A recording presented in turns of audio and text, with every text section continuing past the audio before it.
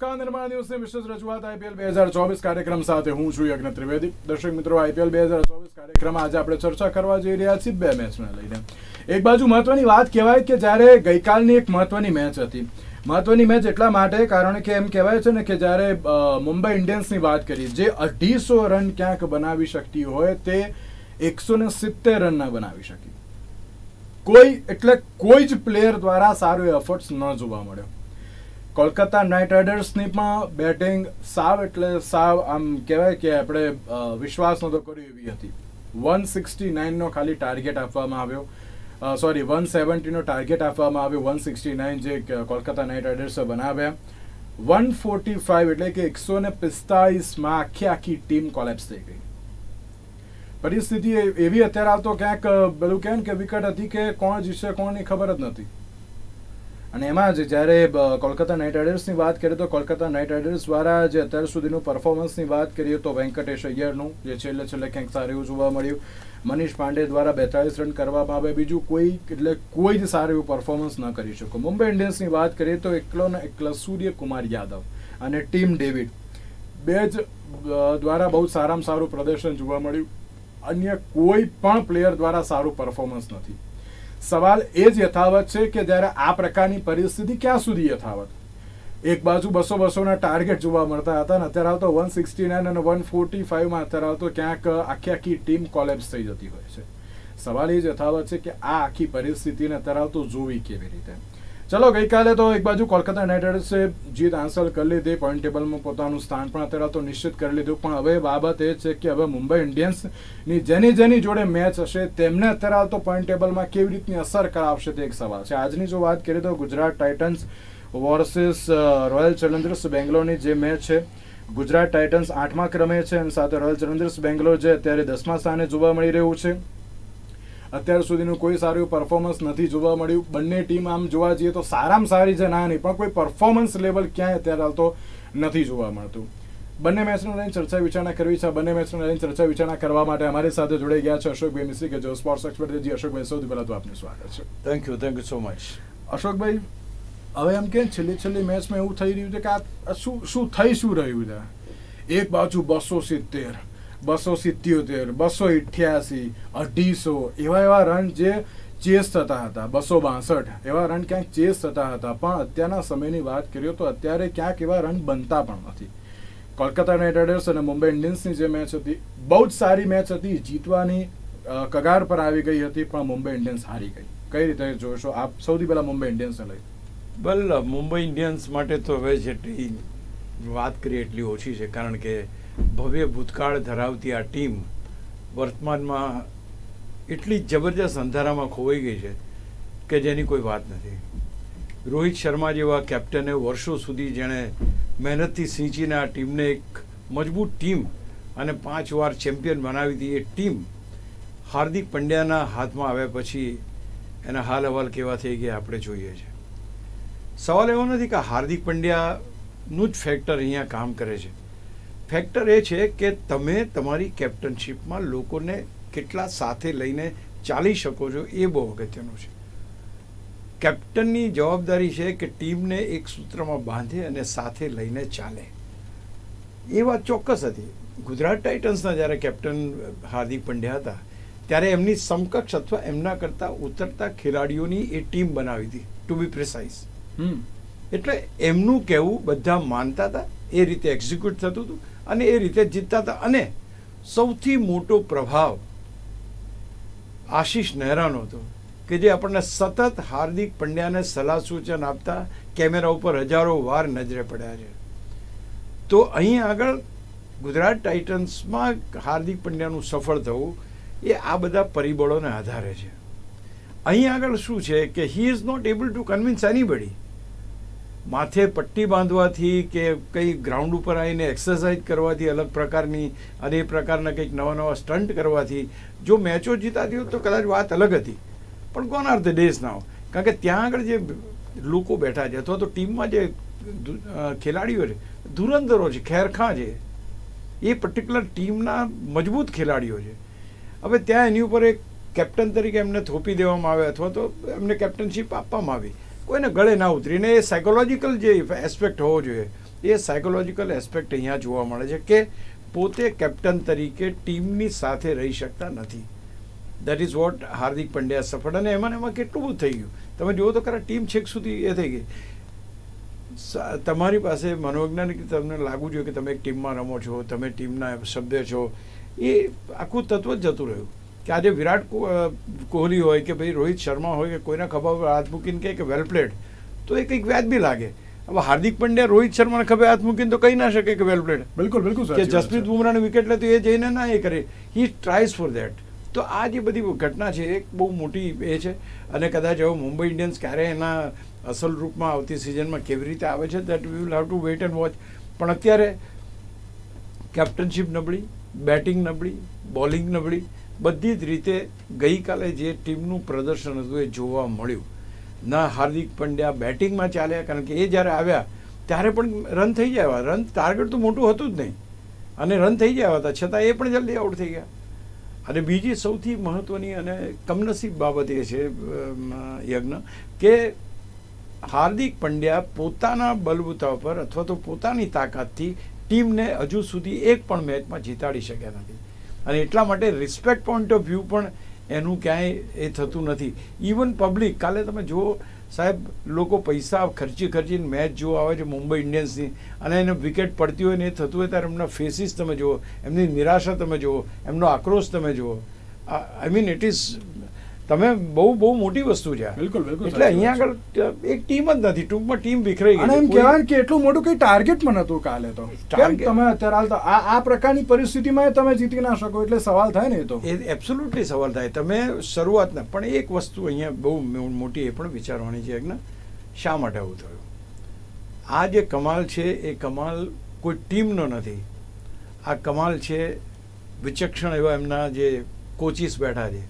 અથવા તો જે ધુરંધરો બેઠા છે એમનો. ગૌતમ ગંભીર આની પાછળ બસો ટકા જવાબદાર છે. એને ખબર હતી કે રોહિત શર્માને આઉટ કરવા માટે નારાયણ જ ચાલે નારાયણ એને છેલ્લી દસમાંથી આઠ વાર આઉટ કર્યો છે. જેવો રોહિત શર્મા આવ્યો કે એને નારાયણને બોલિંગ અપાઈ દીધી વિકેટ તરત પડી ગઈ. બરાબર. કયા ખેલાડીને કયો બોલર કેટલો મૂંઝવી શકે કયો ખેલાડી કયા શોટ સારી રીતે રમી શકે એની કમ્ફર્ટ ઝોન કઈ એની નોન કમ્ફર્ટ ઝોન કઈ આ બધી જ વસ્તુ એટલી બધી ઝીણવટભરી, કાળજીપૂર્વક તૈયાર કરી અને બધા ખેલાડીઓને એ પ્રમાણે એને એપ્લાય કર્યા. તો this is what is the success story તમે માનો છો કે શ્રેયસ આયરને આવા બધા ખ્યાલ આવે? ના ઇટ ઇઝ ગંભીર. હુ ડીડ ઇટ કારણ કે એને ખબર હતી કે બાર બાર વર્ષથી આ પર્ટિક્યુલર મેદાન ઉપર કલકત્તા, મુંબઈને હરાઈ શકી નથી. અને આ વખતે તક હતી કારણ કે ટીમ નબળી છે, ટીમ પાછલા ક્રમે છે, ટીમ એટલી ફોર્મમાં નથી, ટીમ એટલું સારું રમતી નથી, તો આ વખતે આ ટીમને અહીંયા દબોચવી જ પડે અને that they have done it અને આ એક વસ્તુ બાકી અધરવાઇઝ તમે જોવા જાઓ બોલરે તો શું જોરદાર કામ કર્યું. બિલકુલ બિલકુલ જસપ્રીત બુમરાને જે બોલિંગ કરી છે થુસારાએ બંને જણાએ તો છ વિકેટો લઈને તરખાટમાં જે એકસો ને અગ્નોસિત્તેર રનનો આઉટ કર્યા એ લોકોને. બિલકુલ હવે જવાબદારી બેટર્સ. ત્રણ કે ચાર વાર એવું બન્યું છે કે બંને ટીમો ઓલ આઉટ થઈ હોય. This is the fourth instance બિલકુલ બિલકુલ. તો તે છતાંય તમે એકસો સિત્તેર રન ના કરી શકો. તો બધી જ સારામાં સારા પ્રયત્નો બિચારા જે કોઈ બોલરે કર્યા એ બોલરના પ્રયત્નોને બેટ્સમેનોએ પૂરા એ કરી દીધા. બિલકુલ. એક પણ ખેલાડી નહીં. તમે લાખું લિસ્ટ લઈને બેસો તમને એમ થાય કે આ લિસ્ટમાં કોને? ઈશાન કિશનના તેર રન રોહિતના અગિયાર નમનના અગિયાર એ ખાલી સૂર્યકુમાર. અને એ બી તમે જુઓ Suryakumar Yadav the way is playing અથવા ધ વે એના મગજમાં શું ચાલે છે પોતાની સાથે વાત કરતા હોય છે અથવા તો જે અલગ પ્રકાર મીન્સ કે એનું તો એનું બિહેવિયર પેટર્ન જ કંઈક અલગ હતું. એણે એમ વિચારવું છે કે મારે મારી ટીમને અહીંથી જીતાડવાની છે. તો એ જ પોતાના જૂના જાણીતા શોર્ટ્સની ફિરાકમાં હોય એ રીતના લાગ્યું મને. પ્રી ડિટર્મિન કે બસ અહીંયા આવે એટલે આમ મારી દેવાનું, અહીંયા આવે એટલે આમ મારી દેવાનું. તો ક્યાંક મને એમ લાગ્યું કે અહીંયા સૌથી મોટી જો ખામી હોય તો ખામી એ છે કે સૂર્યકુમાર યાદવ પાસે એક બરાબર રમતા હતા. તો he should have carried on કારણ કે અહીંયા મોટું લક્ષ્ય નહોતું. એટલે જો સૂર્યકુમાર યાદવ ઊભા રહ્યા હોત ને તો તમારાથી આ તમારાથી આ થઈ જાત. કોઈ કોઈ ઇમ્પોસિબલ નહોતું. Even Hardik Pandya out. ભલે તિલક વર્માને બધા જલ્દી આઉટ થયા તો એ હાર્દિક પંડ્યા સુધી બધું બરાબર હતું. પણ the moment Hardik Pandya got out matter આખી થઈ ગઈ. બિલકુલ. તો આ જે પરિસ્થિતિ છે કોઈ કોઈને સપોર્ટ કરવા તૈયાર નથી. કોઈ ટીમનું વિચારતું નથી. ગઈકાલે સાહેબ સચિન તેંડુલકર ત્યાં બેઠા હતા અને એમના ફેસ ઉપરના એક્સપ્રેશન જોઈને આપણને લાગે કે માણસ કેટલો દુઃખી થાય છે આ ટીમના પ્રદર્શનથી. મેં હું સતત એની ઉપર મારી નજર હતી. જ્યારે જ્યારે એના ઉપર શોટ આવે તો તમે જુઓ તમને ખબર પડે હાઉ હી વોઝ ફિલિંગ કે આ ટીમ માટે કેટલી મહેનત કરી છે. અને આટલી બધી અત્યાર સુધી એવું કહેવામાં આવતું હતું કે ભાઈ મુંબઈની બોલિંગ ખરાબ છે. મુંબઈની બેટિંગ ક્યારેય ખરાબ નહોતી. એ જ ઈશાન કિશન છે એ જ રોહિત શર્મા છે એ જ તિલક વર્મા છે એ જ હાર્દિક પંડ્યા છે. બિલકુલ. કોઈ ના રમે. તો ક્યાંક પેલું ઇન્ટ્રોસ્પેક્ટિવ એ થવું પડશે એમને પોતાની અંદર જોવું પડશે કે શું ખરેખર ખોટું થાય. અને દવે તમે તમે જો હાર્દિક પંડ્યા ખૂણામાં બેઠા હતા અલગ જગ્યાએ એને એને બોલાયા તો એની પાસે શબ્દો જ નથી. એ શું શબ્દો? એને જ્યારે પ્રેસ મેચ પછીની પ્રેસમાં બોલાવ્યો તો it was not having any word to we will do we will do we will do means એટલે અહીંયા આગળ તમે ઇમેચ્યોર આઈ એમ ઇમેચ્યોર એટલા માટે મારો શબ્દ છે. Not for Gujarat Titans he was my very matured અહીંયા મેચ્યોર્ડ એટલા માટે કે he is carrying a bunch of people કે જે બહુ જ મોટા ખેલાડીઓ છે. અને એ લોકોને હેન્ડલ કરવા માટે તમારે સાયકોલોજીકલ એસ્પેક્ટ પણ તમારે વિચારવું પડે કે તમે કેવી રીતના આગળ વધશો, શું ક્યારે આગલી, આગળની નેક્સ્ટ સિઝનની અંદર શું થાય છે કેપ્ટન તરીકે કોણ રહે છે, એ તો બધું જોવાની વાત છે. અથવા સેકન્ડ વાત, આ પર્ટિક્યુલર સિઝનની અંદર જો આ ફેરફાર કદાચ ના કર્યો હોત, અથવા તો જો રોહિત શર્માને એમ કહેવામાં આવ્યું હતું કે તું ડિક્લેર કર કે ના Hardik Pandya will take over જે રીતે ચેન્નઈ સુપર કિંગ્સમાં ધોનીએ કર્યું. તો હું માનું છું કે હજુ પણ મુંબઈની પરિસ્થિતિ સારી હોત. બિલકુલ. જે પરિસ્થિતિ ખરાબ થઈ છે એ ખરાબ થઈને વર્સ્ટ થઈ ગઈ અત્યારે કે તમે પ્લેઓફમાંથી બહાર થઈ ગયા હવે. બિલકુલ સાચી વાત છે. એટલે હવે હવે જોવાનું એ છે કે જ્યારે હવે કે આ પ્રકારની જે પરિસ્થિતિ સામે આવી છે ને કાલે એમ કહેવાય અશોકભાઈ કલકત્તાના લક કામ કરી ગયા એમ. બધી રોજી તમે જ્યારે એક તમારા ઇન્ટેન્શન્સ ક્લિયર હોય ને તો તમે બધું સારું કરી શકો. તમે માનો છો કે સ્ટાર્કે બોલિંગ સારી નથી નાખી અત્યાર સુધી ધોવા તો તે સ્ટાર કાલે જબરજસ્ત બોલિંગ કરી એણે. ચાર વિકેટ લઈ ગયો રે આખો આમ હાહાકાર મચાવી દીધો એણે. સુનિલ નારાયણ આપણે જાણીએ છીએ તો બધાએ કોન્ટ્રીબ્યુટ કર્યું છે. કેચ છૂટ્યા અથવા તો ગયા એ તો આખી વાત અલગ છે ને પણ એમનું એમનું કે એમની બેટિંગ કે એટલી સારી થઈ નથી. એમની પાસે કોણ બેટિંગ કોઈ રમ્યું નથી એક વેંકટેશ સિવાય. કોઈ નોબડી હેઝ પ્લેડ બિલકુલ. તો બોલિંગ તો જોરદાર હતી. બેટિંગનું શું? હમણાં રોજ તમે એમ છો મારી બોલિંગ ખરાબ છે. આજે બેટિંગે દગો આપી દીધો. અને પાંચે પાંચ ખેલાડીઓ ઈશાન કિશન રોહિત શર્મા નમન સૂર્યા તિલક વાડેરા હાર્દિક. આ જુઓ તો ભૂત જૈન પલિત આવે એવા જબરદસ્ત ખેલાડીઓ બિલકુલ, બિલકુલ સાચી બધા પોતપોતાના નામે મોટા મોટા રેકોર્ડ ધરાવે છે. છતાં શું થઈ ગયું? તો આ ક્યાંક કંઈક તો તકલીફ છે કે જે ક્યાંક નડી રહી છે. ઠીક છે પીચ સ્લો થઈ ગઈ હતી અથવા તો એ બધી વાત આપણે સમજી જઈએ. પણ આ બધા ઓર્ડિનરી બેટ્સમેન છે. આ વર્લ્ડ ક્લાસ બેટર્સ છે. એમને પીચ સ્લો થાય ફાસ્ટ થાય કોઈ ફેર નથી પડતો. એ વીસ ઓવરમાં જોડવાનો જુડી જ નાખે. હમ, હમ, હમ. પણ એક જીતવાનું જનૂન દેખાયું નહીં દોસ્ત. એ ટીમ સ્પિરિટ ના દેખાયું. બિલકુલ બિલકુલ સાચી વાત છે.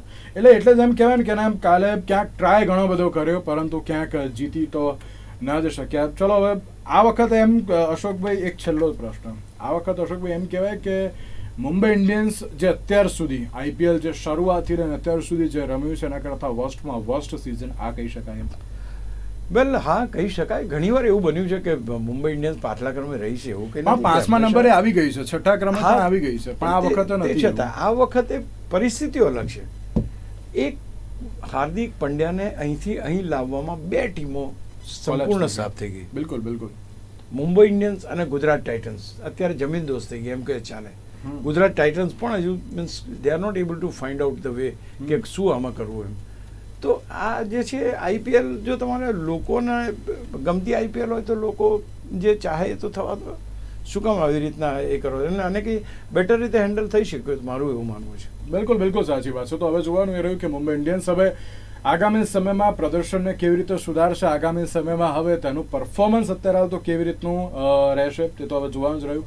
અશોકભાઈ, વાત કરીએ આજની મેચની Royal Challengers Bangalore versus Gujarat Titans બંને એક આઠમા નંબરની ટીમ છે અને એક દસમા ક્રમની જે અત્યારે આવતો ટીમ છે. અત્યાર સુધીનું ક્યાંક સારું એવું પરફોર્મન્સ તો નથી જોવા મળ્યું બંને ટીમ તરફથી. શું કહેશો આજના આજના દિવસને લઈને? ચલો સૌથી પહેલાં વાત કરીએ ગુજરાત ટાઇટન્સને લઈને. શું કહેશો? સી ગુજરાત ટાઇટન્સની સ્થિતિ મુંબઈ ઇન્ડિયન્સ જેવી છે. મુંબઈ ઇન્ડિયન્સની વાત એટલા માટે છે કે એમની પાસે ધરખમ બેટર્સ છે. બોલર્સ પણ સારા છે. અહીંયા આગળ બેટર્સ પણ એટલા નથી ચાલતા કે નથી બોલરનો કોઈ પ્રભાવ. એટલે આ ટીમ પણ એ જ ખરાબ સ્થિતિમાં મુકાયેલી ટીમ છે કે જે ટીમને પાછા ફરવું મુશ્કેલ પડે એવું છે. આજની એક મેચ છે કે જે મેચમાં એ જીતે છે તો આશા જીવંત રહે છે. આશા જીવંત રહે છે. આવશે એમ નહીં. એક આશા જીવંત રહેશે. પણ જો આજે આવે છે તો અહીંયા આગળ પણ એને મોટું તાળું વાગી જશે કે ભાઈ ચલો પતી ગયું. બિલકુલ બિલકુલ. તો આ એક બહુ મહત્વની મેચ ગુજરાત ટાઇટન્સ માટે છે. આ ટીમમાં કોઈ સ્પાર્ક દેખાતો નથી. શુભમન ગિલથી માંડીને તમે બેટિંગની અંદર કોઈના ચહેરા ઉપર એવું નથી લાગતું કે we are going for a big match એમના ફેસ તમે તમે જુઓ તો તમને ક્યાંય કોન્ફિડન્સ નથી બનતો. એટલે આ પરિસ્થિતિ અત્યારે Gujarat Titan Royal Challenger Bangalore is royal બિલકુલ. એ એટલા માટે રોયલ હું કહું છું કે એમણે બે જીત સળંગ મેળવી છે એટલે એવું કંઈ નથી કે એમને તમે એ કરો. એ ગુજરાત ટાઇટન્સ હરાવવા માટે સક્ષમ તો છે જ. એકસો ને એક ટકાની વાત. એમાં કોઈ હું એમ નથી કહેતો કે બેંગ્લોરની ટીમ છેલ્લે છે એ કારણો અલગ છે. એ રાજાશાહી ટીમ છે એટલે છેલ્લે એટલે એવું કંઈ નથી કે એ જીતી ના શકે. બિલકુલ. આ ટીમ કંઈ પણ કરે. તો હવે ગુજરાત ટાઇટન્સ વિચારવાનું છે કે ભાઈ હવે આ મેચમાં કઈ રીતે જીતવું? અને એક અગત્યની વસ્તુ એ છે જ હાર્દિક પંડ્યા હોય કે શુભમન ગિલ હોય જવાબ આપવો હોય તો માત્ર ને માત્ર એમનો બેટ જ આપી શકે. વ્યક્તિગત જવાબો આપવાનો કોઈ મતલબ રહેતો નથી. બિલકુલ સાચી વાત. જ્યાં સુધી શુભમન ગિલ પોતાની જવાબદારી ઉપર રમશે નહીં પાવર પ્લેની અંદર જોઈતા રન નહીં કરે એક સારી શરૂઆત નહીં આપે ત્યાં સુધી ગુજરાત ટાઇટન્સને આગળ વધવું મુશ્કેલ પડશે. અને એમાં કોઈ બેમત નથી. ઓલરેડી જ્યાં સુધી બેક ફૂટ ઉપર જવાનું હતું, ત્યાં સુધી જતા રહ્યા. હવે અહીંયા કશું આજની મેચમાં તમે કેવું પરફોર્મ કરો છે છે? તમારી પાસે ભલે ખેલાડીઓ તમે, શુભમન ગિલ છે, સાહા છે સાંઈ સુદર્શન, શાહરૂખ ખાન, ગયા વખતે શાહરૂખ ખાને વળી પચાસ રન માર્યા હતા એટલે એક મેચમાં, ત્રણ ચાર, ત્રણેક મેચો કદાચ રમ્યા, ચારેક મેચો રમ્યા. ડેવિડ મિલર, તમે વિચાર તો કરો, એક એક કોઈ જગ્યાએ રમ્યો નથી. ખેલાડીની કોઈ વેલ્યુ જ નથી એની એવું થઈ ગયું. તમારે છેલ્લે જો તેવટિયા છે એ બે ચાર છગ્ગા મારી આપે તો ટીમનો સ્કોર સો સવાસો દોઢસો પહોંચે બાકી કોઈ વાત નહીં. તો અહીંયા આગળ જો ગુજરાત ટાઇટન્સને જીતવું હશે તો પહેલી વસ્તુ કે મજબૂત બેટિંગ કરવી પડશે.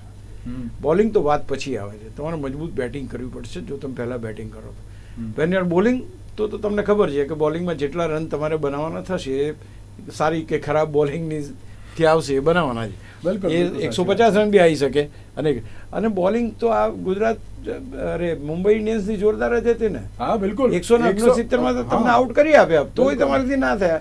એટલે આ જોવાનું એ છે કે અહીં તો એકસો પિસ્તાલીસ કરો તો એમાંય પાણી બેસી જાય કદાચ ગુજરાત. બેસી જાય. You cannot say નેવ્યાસી. ગઈ વખત આપણે જોયું હતું. એટી નાઇન નેવ્યાસી રન તો પછી એટલે કોઈ એવો આપણો મજા કરવાની વાત નથી આની અંદર but the matter is very serious I mean Gujarat ટાઇટન્સે ક્યાંય એવો દમ નથી બતાવ્યો ક્યાંય એવી મજબૂતાઈ નથી બતાવી ક્યાંય એવી એવી ઇનિંગ્સ નથી બતાવી કે જ્યાંથી લોકોને ભરોસો બેઠે બેસે. બળબડતા બપોરમાં લોકો ત્યાં આગળ સ્ટેડિયમ પર જઈને તમે નેવ્યાસી રનનો આઉટ થઈ જાઓ. હવે કેવું લાગે? કેવું પરિસ્થિતિ થાય? ગઈકાલની વાત છે કે આટલા બધા પ્રેક્ષક પ્રેક્ષ- પ્રેક્ષકો મુંબઈના સપોર્ટર્સ ત્યાં આવ્યા હોય અને એકસો સિત્તેર રન ટીમ ના કરી છે. તો આ પરિસ્થિતિ છે, એમાં મોટા મોટી જે બેકફૂટ ઉપર જતા હોય તો આ લોકો ત્યાં છે કે they are losing their fan base બહુ ઝડપથી એમના ચાહકો એમની એમનાથી વિમુખ થઈ રહ્યા છે કે આ. ટીમમાં કંઈ બહુ દમ અને ગઈ વખતની જ વાત કરીએ અશોકભાઈ ગુજરાત ટાઇટન્સ અને રોયલ ચેલેન્જર્સ બેંગ્લોરની જે મેચ હતી એમાં ગુજરાત ટાઇટન્સનું કોઈ સપોર્ટર જ નહોતું. માત્ર માત્ર વિરાટ કોહલીને જોવા માટે દરેક લોકો આવ્યા. એટલે કે ક્યાંક અત્યારે તો જે ફેન બેસ એ ઘણો મોટો ઘટી ગયો છે અત્યારે તો ગુજરાત ટાઇટન્સ માટે. તમે એક વાત કરો કે ફેન બેસ તમારો વિરાટ કોહલીને જોવા માટે તે દિવસે આવ્યા. વિરાટ કોહલીની ટીમ જીતતી નથી. છેલ્લા ક્રમે છે. તો એને જોવા લોકો આવે છે. બિલકુલ આવો તમારી પાસે દમદાર ક્રિકેટર હોવો જોઈએ. બિલકુલ, આવો દમદાર માણસ હોવો જોઈએ. એની પર્સનાલિટી દરેક મેચમાં એ તો રમે જ તમારે. એ આ બાજુ અને યુ વિલ નોટ અમે લોકો પ્રેસ બોક્સમાં જતા એને લગભગ મેદાનની ચારે બાજુ એને ફિલ્ડિંગ કરી જેથી કરીને બધા એને જોઈ શકે. બિલકુલ બિલકુલ સાચી વાત સો એ રીતે તમારું એ તો હોવું જ જોઈએ કે ચલો કંઈક એમ કહેવાય ને કે અત્યાર સુધી જે આવા જે પ્લેયર્સ છે વિરાટ કોહલીની વાત કરીએ અત્યાર સુધીની જે સિઝનમાં રોયલ ચેલેન્જર્સ બેંગ્લોર ક્યાંક જીત્યું નથી. અ, ના રનર્સઅપ રનર્સઅપ બન્યું છે કદાચ તો. હા. રનર્સઅપ બન્યું છે. પણ એમ કહેવાય ને કે અત્યાર સુધીના સ્ટેજમાં ક્યાંક તમામ લોકો વિરાટ કોહલીને જોવા માટે આવતા હોય છે.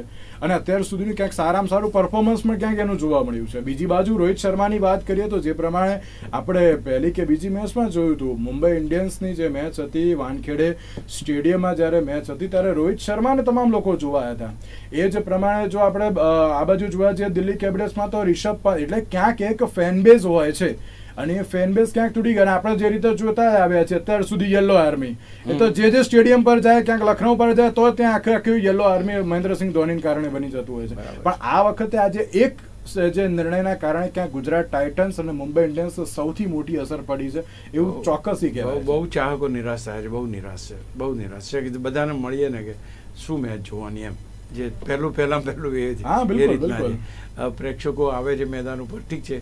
પિકનિક માટે આવે છે તે એન્જોય એન્ડ દે ગો પણ ક્યાંક ખેલાડીઓને જોવા જે આવતા હોય તે બે ચાર ખેલાડીઓ બાકી રહ્યા છે.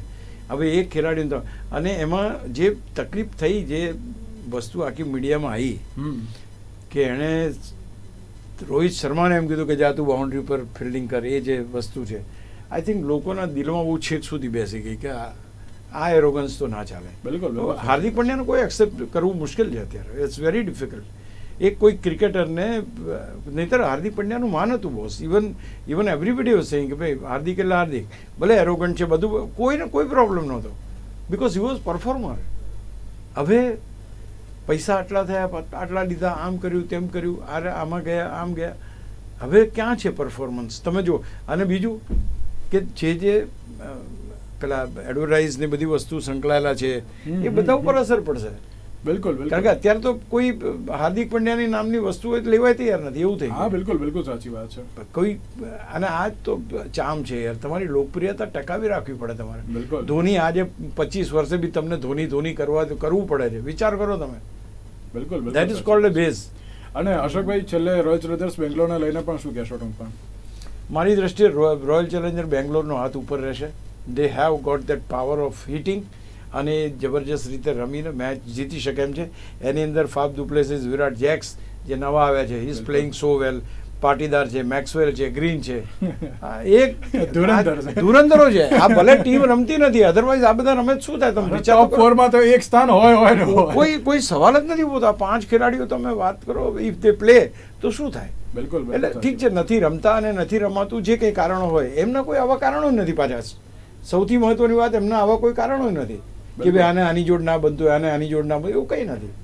બસ ત્યારે એન્જોઈંગ ધ ક્રિકેટ બિલકુલ બિલકુલ સિરાજને જ્યારે અમે છેલ્લે પૂછ્યું ત્યારે એને કહ્યું ક્રિકેટને એન્જોય કરીએ છીએ દરેક મેચમાં બિલકુલ બિલકુલ સાચી વાત છે. તો હવે જોવાનું મેળવ્યું કે Royal Challengers Bangalore versus Gujarat Titans જે મેચ થવા જઈ રહી છે તેમાં કોણ કેવો પરફોર્મન્સ આપશે અને કોણ જીતશે? અશોકભાઈ આપનો પણ ખૂબ ખૂબ આભાર અમારી સાથે ચર્ચા વિચારણામાં જોડાવા માટે. તો દર્શક મિત્રો આજના વિશેષ કાર્યક્રમ જ આપશો નમસ્કાર.